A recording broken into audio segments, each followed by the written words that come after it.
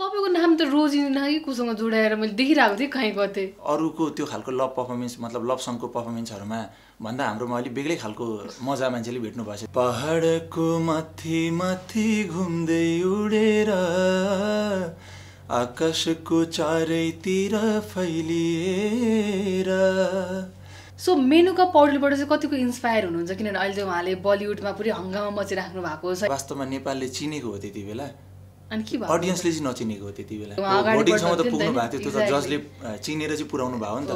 अब त्यति बेला चिन्नुपर्ने चाहिँ अडियन्सहरूले नै थियो। भोट गरेर चाहिँ मेनुका राम्रो हो भन्ने लाग्थ्यो भने मेनुकालाई त्यति बेलै जिताउनु पर्थ्यो। पहिलेदेखि इन्सपायर्ड हुने एउटा पात्र हो मेनुका दिदी चाहिँ। राम्रो हुनार छुटाउनु भएको हो तर राम्रो हुनार अरू पनि हुनुहुन्छ। सङ्गीत क्षेत्रमा यदि तपाईँ केही गर्न चाहनुहुन्छ भने चाहिँ कुनै रियालिटी सोमा आइसकेपछि मात्र इजी हुने हो। रियालिटी सोमा एउटा पर्फर्मेन्सले मान्छे एकैचोटि क्लिक भइदिन सक्छ। लाखौँ करोडौँले हेरेर बस्नु भएको हुन्छ। अब इन्डिभिजुअल वेमा गयो भने मैले कहिले गीत निकाल्ने म्युजिक भिडियो बनाउने प्रमोट गर्न दिने यता कुद्ने उता कुद्ने। त्यो गर्नुभन्दा यहाँबाट चाहिँ क्लिक हुन चाहिँ सजिलो। के कुराले चाहिँ त्यस्तोलाई यस्तो टच गर्यो? किनभने हतपत्त केटा मान्छेहरूको अलिक देखिँदैन कि? हारले मान्छेलाई अलिकति कमजोर बनाउँदो रहेछ। त्यति बेला चाहिँ अब अलिकति कन्ट्रोल गर्न गाह्रो हुने गरी नि अलिक भावुक भएको थिएँ। कस्तो बिचरा जस्तो टाइपको लाग्यो क्या मलाई। Entertainment. स्वागत छ हजुरलाई। धन्यवाद। सन्चै हुनुहुन्छ। एकदम ठिकठाक। अहिलेसम्म। सो के खेलिरहेको छ अहिले मनमा मनमा त अब त्यही भोइस अफ नेपाल अब त्यही देखेको सपनाको कुराहरू अगाडि यसो गर्छु उसो गर्छु भन्ने कुराहरू भएन भन्ने कुरा सम्झियो बसियो त्यस्तै छ अहिले। प्रशान्तजीलाई कहीँ कतै मेरो आदि सपना चाहिँ चकनाचुर भएको जस्तो फिल भयो?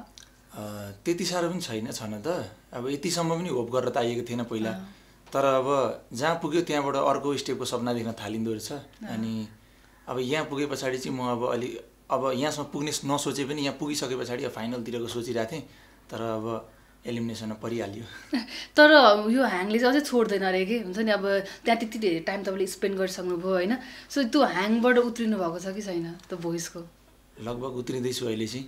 एक दिन चाहिँ अस्तिको दिन जुन दिन एलिमिनेट भएको त्यसको भोलिपल्ट चाहिँ त्यो झुकी पनि रहेको थिएँ म आफै। अब त प्र्याक्टिसमा जानुपर्ने हो कि के हो भन्ने अब डेली लाइफ साइकलै त्यस्तै थियो नि त। बिहानै उठ्यो प्र्याक्टिस गयो सत्र अठार दिन बसेको थियो क्लोज क्याम्प। अनि त्यहाँबाट एक दिन फेरि म त्यहीँ बसेँ। क्लोज क्याम्पमै बसेँ। त्यही दिन जहाँ गइनँ मलाई त मन लागेन? जाने। साथीहरूसँग गफ गऱ्यो बसियो रातभरि अनि अर्को दिनमा त्यही गएको हुन्छ अनि ठिकै छ अहिले चाहिँ। अब आफ्नै रुममा फर्केको छु अहिले त। अनि अब त्यो ह्याङओभरबाट अब चाहिँ। बिलिभ भइसक्यो कि म चाहिँ छुइनँ भनेर होइन? अब चाहिँ बिलिभ गर्न थाल्दैछु। पक्कै पनि। सो ओभरअल जर्नी कस्तो भयो तपाईँको सिजन फाइभको एकदमै धेरै राम्रो। अब ब्लाइन्ड अडिसनै पहिला त धेरै गाह्रो थियो। ब्लाइन्ड अडिसन पुग्न पाए पनि हुन्थ्यो भन्दै गएको रियालिटी सो त्यहाँ पुगे पछाडि सेलेक्ट भइयो भए पछाडि ब्याटल जित्ने आश। आश, अब हारियो फेरि त्यहाँबाट स्टिल भएर आइयो। नकआउट पुगेपछि एकचोटि भोटिङ चाहिँ पुग्न पाए हुन्थ्यो भन्ने लाग्दै थियो सबै त गइसकेर बढ्दै जान्छ त्यो कहिले नपुग्ने चाहिँ रहेछ। तर जे होस् यहाँसम्म आउनु भनेको पनि ठुलो एचिभमेन्ट हो मेरो लागि म खुसी छु यसमा चाहिँ। के कुराले चाहिँ तानेर होइन भोइसमा चाहिँ जानुपर्छ जस्तो लाग्यो तपाईँलाई? यो मलाई धेरै अगाडिदेखि रहर लागेको थियो। मैले ट्राई पनि गरिरहेको थिएँ यसपालि चाहिँ जुरेको। अब अरू बेला कहिले के नमिल्ने कहिले न के नमिल्ने टाइम नमिल्ने।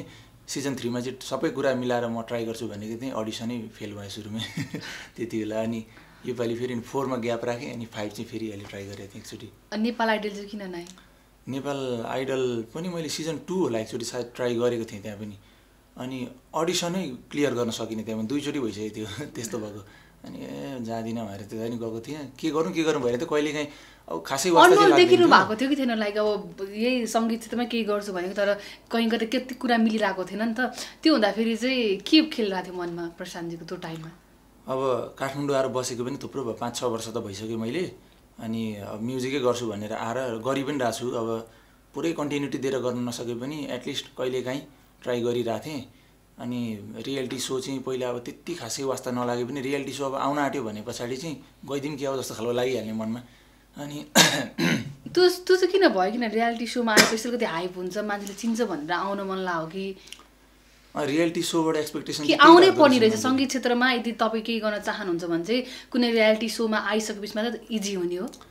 होइन रियालिटी सो त भर्खर भर्खरै आउनु थालेको। पाँच छ वर्ष नै भयो लगभग यसको क्रेज बढेको चाहिँ। पहिला त अब त्यति धेरै रियालिटी सो हुँदैन थियो। मान्छेले आफूले इन्डिभिजुअल तरिकाले अगाडि बढ्नु पर्थ्यो।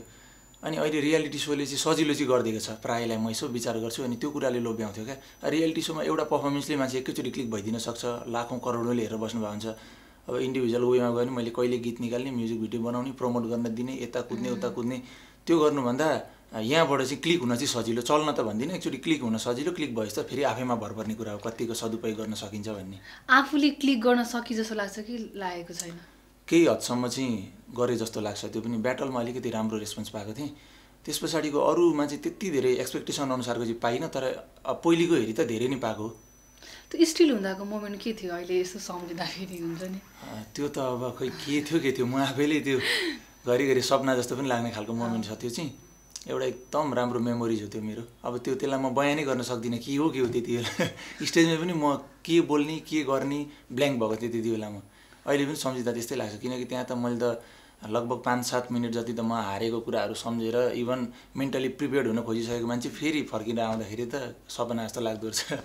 चाँडै इमोसनल हुने मान्छे हो प्रशान्तजी चाहिँ तपाईँ हुन्छ नि हामीले देखेका थियौँ आउट हुँदाखेरि पनि तपाईँ एकदम भावुक हुनुभएको थियो होइन? त्यस्तै त्यो लाइक के कुराले चाहिँ त्यस्तो लाइक यस्तो टच गर्यो किनभने हतपत्त केटा मान्छेहरूको अलिक देखिँदैन कि? यो हारले मान्छेलाई अलिकति कमजोर बनाउँदो रहेछ। धेरै हारेको मान्छेहरूलाई हारिराख्दाखेरि अब के भन्ने भन्ने खै? त्यति बेला पनि मैले चाहिँ एउटा हुन्छ नि यो चाहिँ एउटा पार गर्न पाएँ भनेर दुई चारवटा मैले सोचेको सुरुमा त माथिको धेरै नदेखे पनि यहाँसम्मको जर्नी चाहिँ मैले इमेजिन गरेको छु यति चाहिँ योपालि पुग्नु पऱ्यो भनेर जब त्यहाँ पुगिसके पछाडि त सोचेको थिएँ मैले। अनि तर त्यो सोच्दा सोच्दै सुरुमै आउट हुँदाखेरि चाहिँ अब फेरि त्यो मेमोरिजहरू रिकल भयो क्या? जमानादेखि भइ नै रहेको थिएन। यसपालि चाहिँ हुन आँट्यो है केही भनेर सोचेको फेरि भएन। अनि त्यति बेला चाहिँ अब अलिकति कन्ट्रोल गर्न गाह्रो हुने गरी नि अलिक भावुक भएको थिएँ। अहिले चाहिँ अलिकति स्ट्रङ भइसक्नु भयो कि? अहिले चाहिँ लगभग किनभने योभन्दा धेरै माथि लाइक अब आफ्नै। पर्फर्मेन्स हेऱ्यो भने पनि हामीलाई त्यो हुन्छ नि अब त्यो मोमेन्टहरू त्यो भिडियोहरू हेर्दाखेरि रुन मन लाग्छ नि त। अनि अँ म मलाई पनि त्यस्तै भएको थियो। आफ्नै पर्फर्मेन्स म त्यहाँ त्यति बेला मै थिएँ तर पनि म एज एन अडियन्स पछि अनएयर भएपछि हेर्दा पनि मलाई नि कस्तो बिचरा जस्तो टाइपको लाग्यो क्या मलाई। अनि त्यस्तै भएको रहेछ भन्ने फिल गरेँ। तर त्यति बेला मलाई होस हवसै थिएन मैले के गरेँ के बोलेँ भनेर। सो अघि भन्नु पनि सिजन फोर चाहिँ ग्याप गर्नुभयो सिजन फाइभमा। सिजन फोर ग्याप गर्नुको रिजन? सिजन वान या टू म कन्फ्युज छु। टूमा होला नेपाल आइडल ट्राई गरेको थिएँ। अडिसनसम्म पनि पुगिनँ। अनि थ्रीमा पनि सायद ट्राई गरेको थिएँ होला। नेपाल आइडल दुई सिजन गरेको थिएँ क्या रेगुलर मैले त्यति बेला। अनि एउटामा चाहिँ म अनियर भएको थिएँ तर मेरो भिडियो आएको थिएन। त्यो फोटोमा निस्किनेहरूको टाइम ल्याप्स जस्तो बनाएर हाल्दाखेरिमा मेरो फोटो टक्क टक्क आएको थियो क्या त्यहाँ एक ठाउँमा। अनि अडिसनमा थिएँ भनेर देखिनको लागि मात्रै। अनि त्यही पनि मैले खुसीले पोस्ट गरेको थिएँ फेसबुकमा। मेरो फोटो आएछ नेपाल आइडलमा भनेर। अब भिडियो त आउन पाएन आउट भइहालेँ। अनि त्यस पछाडि चाहिँ भोइस अफ नेपालमा ट्राई गरेँ यता जान्छु अब भनेर। यहाँ पनि आउट भएँ। अनि चाहिँ लु जति गरे पनि नहुँदो रहेछ एक वर्ष चाहिँ अब पुरा रेस्ट गर्छु। ग्रह राम्रो छैन होला भनेर नि एक वर्षलाई ग्याप राखेर फाइभमा अब चाहिँ लास्ट टुडे ट्राई गर्छु। लास्टै भनेर सोचिरहेको थिएँ योपालि चाहिँ जे हुन्छ हुन्छ। अब यस पछाडि चाहिँ गर्दिनँ म रियालिटी सो भनेको थिएँ। अब एटलिस्ट टप नाइनसम्म चाहिँ आइपुगेँ। धेरै ठुलो सफल भएको मान्नुपर्छ। अब अडिसनमै फालिने मान्छे पहिले। अहिले त्यहाँ फोटो आएको थियो यहाँ त अडियन्सले चिन्नु पनि भयो? यहाँ त फोटो भिडियो सबै एउटा मेरो लाइफको एउटा मुभी मुभी बने जस्तो भयो। अब के भन्छ ब्याटलमा त झन् त्यस्तै खालको मोमेन्ट है? बनेको थियो। अनि त्यहाँबाट ओभरअलमा एकदम मेरो यात्रा नै देखाइरहेछ भोइस अफ नेपालले फेरि क्या? त्यो हुन्छ नि। हार्दै अलिकति अगाडि बढ्दै हार्दै अब भोइसमा पनि मेरो जर्नी त्यस्तै खालकै भयो। तर शिवा तपाईँबाट चाहिँ हामी के सिक्नुपर्छ शिवाकोटी भन्न लाग्यो प्रशान्तजी नभनिकन। लाइक लड्यो भने पनि उठ्नुपर्छ भने लड्यो भनेर अब यतिकै मेरो लागि चाहिँ होइन रहेछ भनेर चाहिँ बस्नु नहुने रहेछ। अँ त्यो चाहिँ मैले आफूले आफैलाई यति मोटिभेट गरेँ त्यो कुरामा। अनि इभन मेरो ड्याडी मम्मीले पनि सपोर्ट गर्नुभयो म मलाई मोटिभेट गर्नको लागि। अनि म जस्तो अरू पनि धेरै हुनुहुन्छ क्या मेरो साथीहरू पनि छन्। हामी सँगै बस्छौँ। पाँच छजना म्युजिसियनकै ग्रुप छ हाम्रो। अनि उनीहरू पनि कोही मभन्दा धेरै असफल भएकोहरू पनि छन् क्या त्यहाँ। म चाहिँ त्यहाँनिर म होला सबैभन्दा बढी रिजेक्ट भएको कतिवटा अफरहरू पाएर फेरि त्यो क्यान्सल हुने टाइपको हुन्छ नि सुरु सुरुमा। अहिलेसम्म त्यस्तै नै भइरहेछ। फर्स्ट मेरो लागि केही राम्रो भएको भनेको यही हो भोइस अफ नेपाली यो म्युजिकल करियरमा नत्र अब त्यो केहीमा पनि आफू इङ्गेज हुनलाई अब अफर आइरहेछ र त्यो बारेमा डिस्कस भइरहेछ भने त्यो कति बेला क्यान्सल हुन्छ थाहै नहुने क्या। अनि साथीहरूलाई चाहिँ म अहिले चाहिँ यही भन्छु क्या हेर केटा हो त्यही हो अब असफल भनेको एउटा जीवनको बाटो हो।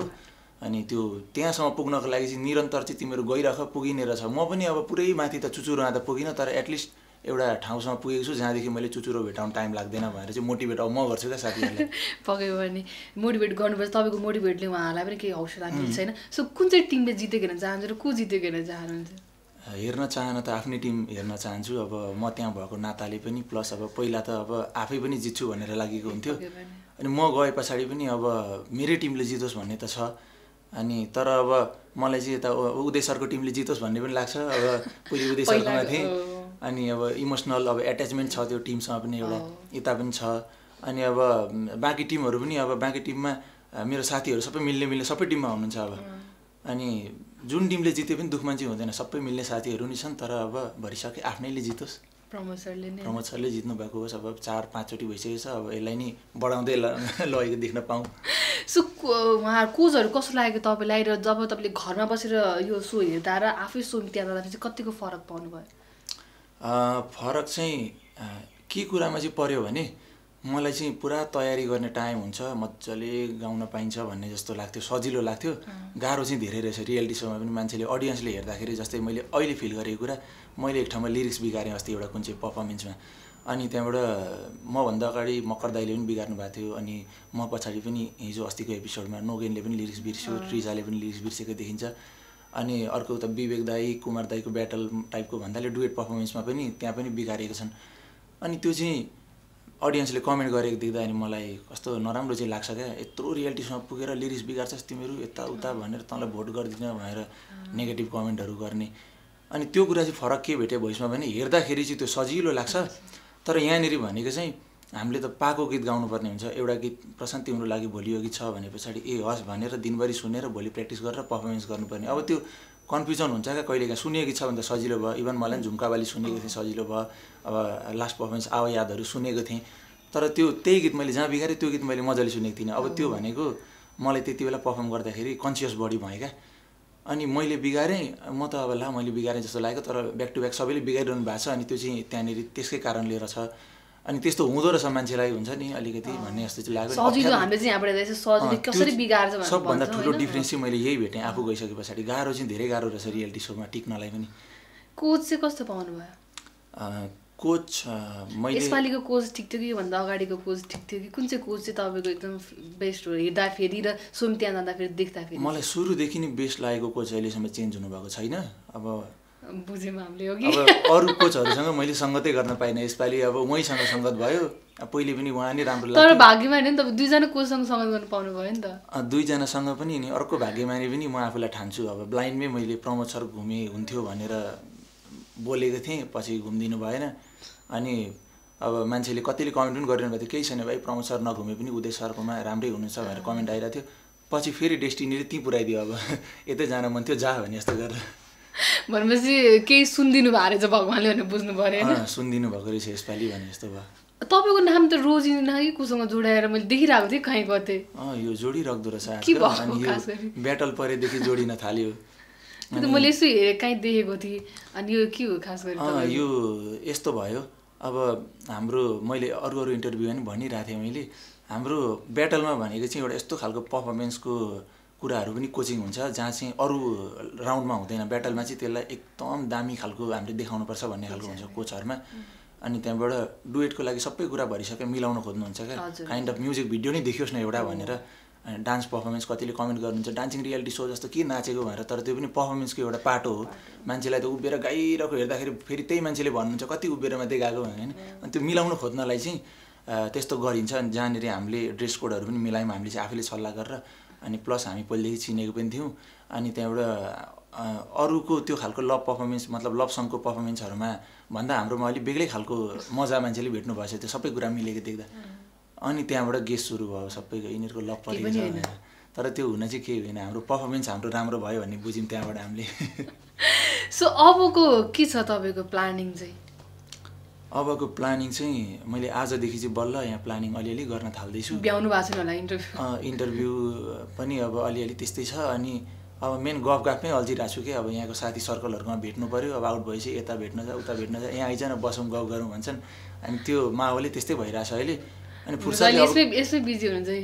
यस्तैमा छु तर। प्लानिङ पनि अब चाहिँ अलिअलि चाहिँ गर्दैछु। किनभने अब आउट भएपछि यत्तिकै बस्नुभन्दा पनि यही बेलामा अलिकति अलिकति अपर्च्युनिटी अहिले पाइरहेको बेला होइन? अहिले मान्छेले प्रशान्तिलाई चिनिरहेको बेला तपाईँ यसरी बस्नुभयो भने पछि तपाईँलाई गाह्रो हुन्छ। अब त्यही भएर सोच्दैछु अब हेरौँ अर्को हप्तासम्म चाहिँ एउटा गीत चाहिँ म राम्रो लिएर आउनु पऱ्यो भनेर यहाँ प्लान चाहिँ गर्दैछु। कतिसम्म सम्भव हुन्छ अब? त्यही त। चाँडै लिएर आउनु हतार नगरिकन लिएर आउनु होइन? फेरि हतार गरेर लिएर आउँदा फेरि गाह्रो पनि पर्न सक्छ तपाईँलाई। सो एउटा गीत सुन्न मिल्छ मिल्दैन? किनभने भयो तपाईँको घाँटीमा प्रब्लम छ है? भन्दा पनि अब गाउँ त अलिअलि गाउँछु फेरि गाह्रो हुँदैन भने गाउनु। ब्याटलको कुरा भइरहेछ ब्याटल। पहाडको माथि माथि घुम्दै उडेर आकाशको चारैतिर फैलिएर पागल जस्तै उडी हिँड्ने बादल हो तिमी बादल हो बादल हो त्यो बादल हो। सो बेस्ट विसेस तपाईँलाई आगामी दिनको लागि। धन्यवाद। र म एउटा काटिहाल्न मैले उसको नामै बिर्सेँ कि हाम्रो के अरे इन्डियन आइडल लगाएको नाम के अरे मेनुका। पौडेलै। जोड्न लाग्यो नआयो नाम के थियो भनेर सो आगामी दिनको लागि बेस्ट विसेस तपाईँलाई। सो मेनुका पौडेलबाट चाहिँ कतिको इन्सपायर हुनुहुन्छ? किनभने अहिले चाहिँ उहाँले बलिउडमा पुरै हङ्गामा मचिराख्नु भएको छ होइन उहाँले पनि पहिला यहीँ इन्डियन आइडलदेखि लिएर धेरै रियालिटी सोहरूमा जानुभएको थियो। सो त्यहाँ गएर अहिले छुट्टै चाम भइरहेको छ उहाँको। सो कस्तो लाग्दो रहेछ उहाँबाट? चाहिँ तपाईँले के सिक्नुभयो? मेनुका दिदीबाट त म पहिल्यै पनि सिकिरहेकै हुन्थेँ। कहिलेकाहीँ भेट पनि भइरहेको हुन्थ्यो। उता पूर्वतिर कहिलेकाहीँ एक दुईचोटि भेट भएको छ। त्यस्तो विशेष गरी नभए नि कार्यक्रमतिर भेट भएको छ। अनि नेपाल आइडलमा पनि उहाँ जानुभएको थियो पहिले नेपाल आइडलमा पनि अहिले दर्शकहरूले चाहिँ एउटा कमेन्ट गरिराख्नुहुन्छ क्या रेस्पोन्स नेपाल? आइडल नेपालले चिन्न नसकेको कलाकार. अहिले इन्डियामा गएर सबैले मन पराउनु भएको छ। नेपाली जजहरू राम्रो हुनु भएन होइन भनेर कमेन्टहरू आउँछ। तर वास्तवमा नेपालले चिनेको हो त्यति बेला। अनि के भयो? अडियन्सले चाहिँ नचिनेको हो त्यति बेला मेरो भनाइ चाहिँ। अहिले तपाईँहरूले कमेन्ट Audience-ले भोट गरिदिएको भए त उहाँ भोटिङसम्म त पुग्नु भएको थियो त्यो त अ, चिनेर चाहिँ पुऱ्याउनु भयो नि त। अब त्यति बेला चिन्नुपर्ने चाहिँ अडियन्सहरूले नै थियो। भोट गरेर चाहिँ मेनुका राम्रो हो भन्ने लाग्थ्यो भने मेनुकालाई त्यति बेलै जिताउनु पर्थ्यो। अनि उहाँहरूले भोट कम्ती दिनुभयो। अब भएकै त्यही हो नि त भोटले निस्किने भने जस्तो उहाँहरूले भोट कम्ती दिनुभयो। अनि अब हुन त कतिले दिनु पनि भयो होला तर अरूको मेजोरिटीमा उहाँको कम्ती भइदियो भनौँ न। दिन त दिनुभएको थियो होला। तर सबैजनाले सपोर्ट गरेर चाहिँ अझै अरूलाई भन्दा मेनुकाजीलाई अगाडि बढाएको त्यति बेला पनि उहाँले जित्न सक्नुहुन्थ्यो। र अहिले पनि जित्ने तर्खरमै हुनुहुन्छ होइन लगभग हाम्रो यहाँ हेर्दा। अनि सकेसम्म अहिले पनि जिताउँ अब पहिले नजिते पनि यति बेला जिताउँ। अनि उहाँबाट धेरैले इन्सपायर्ड हुने मौका पाइरहनु भएको छ। पहिले पहिलेदेखि चिनेको अहिले त पहिलेदेखि इन्सपायर्ड हुने एउटा पात्र हो मेनुका दिदी चाहिँ. हामी हुन्थ्यौँ पनि। अनि अब अझै अहिले चाहिँ अब होल नेपाल जतिले चिन्नु भएको थिएन नेपाल इन्डियादेखि लिएर वर्ल्ड वाइड अहिले त विश्वभरि नै उहाँ एकदम. पपुलर हुनुहुन्छ। अनि धेरै कुराहरू इन्सपायर्ड भएर अझै आफूले पनि हार मान्नु हुँदैन भन्ने उहाँले पनि सिकाउनु भएको छ। हो उहाँबाट चाहिँ हामीले सिक्ने भनेको त्यही हार चाहिँ मान्नु हुँदैन रहेछ। किनभने उहाँले छोड्नु भएन नि त सङ्गीतलाई छोड्नु भएन। यसलाई नै निरन्तरता दिँदै अहिले बलिउडमा रहनु छ। र यसकोबाट तपाईँले पनि मैले केही कुरा चाहिँ सिक्नुपर्छ किनभने प्रशान्तजीले पनि यही इन्डस्ट्रीकै लागि केही गर्छु सङ्गीत क्षेत्रमा केही गर्छु भनेर अगाडि बढिराख्नु भएको छ। सो चाँडै नै तपाईँको गीत पनि हामीले सुन्न पाऊँ अडियन्ससँग फेरि पनि यसरी नै माया पाइरहोस् र फेरि पनि इन्टरभ्यू गर्न पाऊँ। सो अन्तिममा केही भन्न चाहनुहुन्छ अडियन्सलाई? अडियन्सहरूले अब मलाई भोटिङ धेरैले गरिदिनु भएको थियो सपोर्ट गरिदिनु भएको थियो सबैको माया पाएरै म तिन एपिसोडसम्म चाहिँ अगाडि बढ्दै आएँ त्यति बेला। अनि भोट नगरिदिनु भएको भए त तिन एपिसोड पनि म टिक्ने थिइनँ सुरुमै आउट हुन्थेँ होला। के लाग्छ भने जस्तै नेपालले अब जनताहरूले चाहिँ तपाईँलाई भोट गर्नु भएन एउटा राम्रो होनार चाहिँ छुट्याउनु भएको हो त? राम्रो हुनार छुटाउनु भएको हो तर राम्रो हुनार अरू पनि हुनुहुन्छ त्यहाँनिर फेरि। त्यसमा दुःख मन चाहिँ छैन कि यही हुनुपर्थ्यो भन्ने किनकि कोही भन्दा कोही कम हुनु न यति बेला। गुमाएको त होइन नि मलाई। बचाउनु भएको भए अर्को हुनार छुट्थ्यो फेरि अब त्यहाँनिर। कसै गर्दा पनि अब यहाँनिर मै थिएँ भन्ने खालको त वातावरणै छैन। अनि मभन्दा अझ भनौँ सिनियर पनि धेरै हुनुहुन्छ यहाँनिर। उहाँ दाईहरू एटलिस्ट हुनुहुन्छ मलाई खुसी लाग्छ मलाई। विनोद दाई विवेक दाई मकर दाई अश्विन दाई चाहिँ आउट हुनुभयो मेरो फेभरेट मध्येमा। मतलब सिनियर एकदम उहाँहरूबाट चाहिँ। अरू अनि धेरै होनार होनार कलाकारहरू अहिले पनि हुनुहुन्छ। आफ्नो होनार चिन्नुहोस् र होनारलाई नै जिताउनुहोस् त्यो चाहिँ शुभकामना छ। अनि अब यही हो होनार चिन्ने र जिताउने क्रममा कसको होनार कहाँ छुट्छ अर्को कहाँ पुग्छ भन्ने मात्रै हो। मलाई पनि सपोर्ट गर्नुभएको थियो अरूलाई पनि गरिरहनु भएको छ। अनि त्यस त्यही हो मलाई गरेको सपोर्टको चाहिँ अन्दाज अलिकति बिग्रियो अलिकति धेर भोट हालेको भए जित्थेँ होला। अनि त्यति मात्रै भएको तर ठिक छ अब मेरो भोट पनि अरूलाई हाल्नुहोस् सबैलाई जिताउनुहोस्। सबैलाई जिताएर अनि एकजनाले जित्ने हो नि त। अब जिताउन खोज्नुहोस् सबैलाई। अब मतलब सबैको चोइसले जितेको ठिक छ त्यो पनि सबै जिते बराबरै हो। आज थ्याङ्क यू सो मच र बेस्ट विसेस आगामी दिनको लागि। थ्याङ्क यू धेरै धेरै धन्यवाद।